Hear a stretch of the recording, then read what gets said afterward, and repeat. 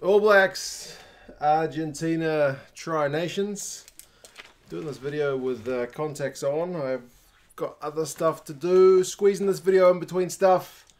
Uh, so if it looks weird to see me in context, it, uh, it feels weird to be doing a video in context. But there you go. I can still see teams, recent history, odds. That's what we'll talk about, and you guys can let me know your thoughts as always. The recent history, the long-term history between the All Blacks and the Pumas has been pretty one-sided. Uh, the last five, the All Blacks have won all five. They've never lost to the Pumas. There's been a draw, but generally, uh, it's been pretty happy hunting for the All Blacks against the guys from Argentina. And this one feels even a bit more stacked in favour of the All Blacks, given the lineup they've named, but I'll put that in the description and go over it in a second. Uh, and the prep time that they've had. Remember, with COVID, the uh, the Pumas guys haven't had a domestic competition like we've had with Super Rugby Aotearoa, and the All Blacks are four test matches in. The, the Pumas have had two warm-up games against a kind of Australian 15, but that's not the same. So you may find they are much more lacking in match sharpness, but I hope not. I'm hoping for a a relatively good bit of entertainment and not too lopsided, but we will have to wait and see how things go. Of the most recent five games, um, the last one was actually the pretty tight one 20 points to 16 over in Argentina in 2019. Uh, but from memory, the All Blacks didn't they not send their best team out to that one?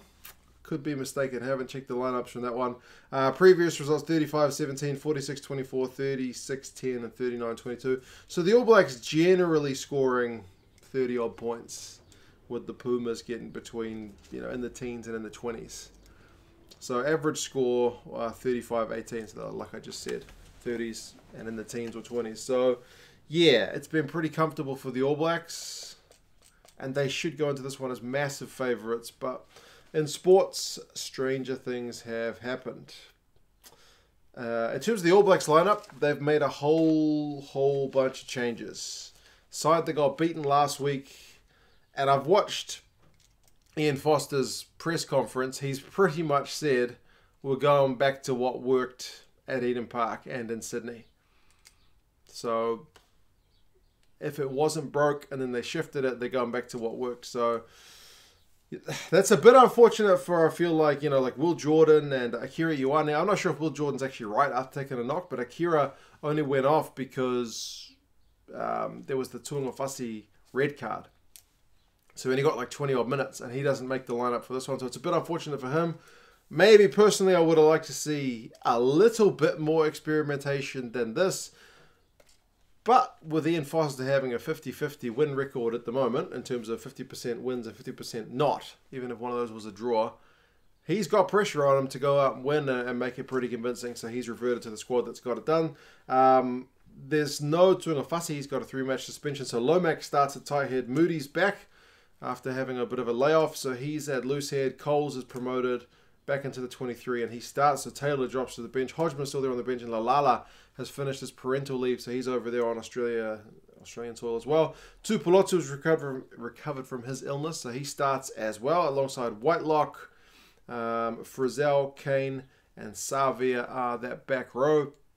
So as I mentioned, there's no spot for Akira Ioane. Aaron Smith is back in the 9 jersey. Richard Mo'unga is back in the 10 jersey. So again, reverting back to what we knew. Goodhue's back at 12. ALB is still 13. Caleb Clarke on the left wing things kind of quietened down um, in recent times about his potential, but if he has a big game, expect that to kick back off. Uh, Barrett's back on the right wing, and Bodie is at fullback, so a few positional switches. Uh, D-Max there on the bench. Rieko Ioane is back to the bench, covering uh, midfield and wing essentially. Uh, Weber is on the bench ahead of TJ Perenara, and uh, Ian Foster essentially didn't say that he'd swung an axe for TJ, but maybe if you read between the lines, you could see that maybe Weber's get. He said Weber's getting rewarded, so make of that what you will. Uh, so Tutu is back on the bench as well. Vaa'i is there, so there's no Scott Barrett. Again, he talked about it in the press conference, Ian Foster, about how um, you know Scott's had a couple of games off the bench and then a start, and now it's time for him to have a break. Well, gave away a stupid penalty last time, so maybe having to sit for a week. uh, will make him think twice before giving away a silly penalty like he did last time. But yeah, no Reece, no Laumape, no TJ, Tuinukuafe, Aumua, Akira, Ofa Tu'ungafasi, uh, Scott Barrett, as I mentioned. So big time changes for the All Blacks. But back to what I guess Ian Foster sees as his strongest side. For the Pumas, it's hard to see uh, the form of these guys because, again, we haven't got much to look at apart from those two kind of warm up games. Tetaz Chaparro, Montoya, and uh, Gomez Kodela are the front row. So, relatively experienced front row. Uh, I think Kodela is like 35. Montoya's been playing understudy for um, for quite some time, but has maybe surpassed him, I think, in at least the last maybe 18 months or so. So rightly the first choice guy in the hooker jersey. Petti is still world class at lock. I expect big things from him. Alemanno is there. There's no Lavanini in the squad, so Alemanno has traditionally been that third guy, so he steps up to be the second guy. Uh, Matera is still there as captain on the flank. Alongside him is a big bruising unit, Marcos Kremer. And uh, Bruni gets the call at number eight. And number eight's been a jersey that's kind of rotated between quite a few guys in that Pumas lineup. So Bruni gets the nod. I think Isa has only just recovered from an injury, so that's kind of why we may be not seeing him. Uh, Cubelli and Sanchez are 9 and 10, so again, two pretty experienced hands. Uh, there's no signs of Miotti in the squad, but I haven't seen if he is injured or just not selected.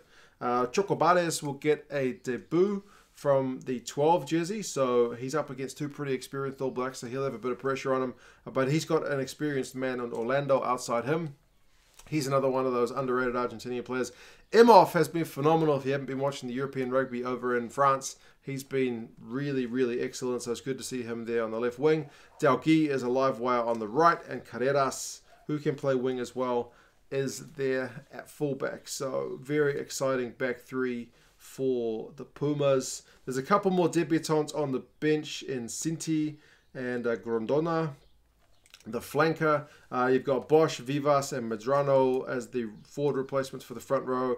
Uh, Lezana is there as well. Bertranou is the backup number nine, and they've kind of rotated through a few number nines as well, but Cubelli is the guy for the minute, and uh, Santiago Cordero is there as the uh, kind of outside back replacement. And it's good to see the likes of him and Imhoff in the Pumas because with um, with the way things have been run there with Ledesma for a while, some of the guys in, in Europe have kind of been on the outer, but it seems like they're they're calling on all the resources they've got. So it's good to see some really big names of the Argentinian game in the Pumas side. So hopefully these guys can can put in a good shift. But the odds are definitely stacked against them. Make no make no bones about that. Um, the bookies over here in New Zealand have got New Zealand by 24 points. So pretty big favourites. And Rugby Forecast algorithm likewise has New Zealand by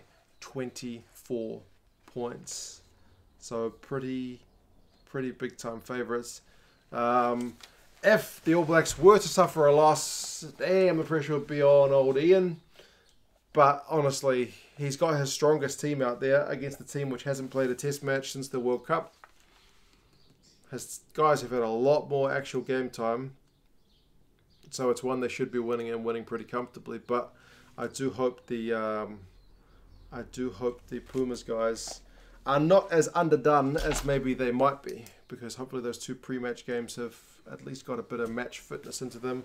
We'll see how many times in the pre-match stuff the uh, the pundits talk about the Pumas guys being full of passion because that's pretty much the, the default line they go for in terms of the, the Pumas. But we will see.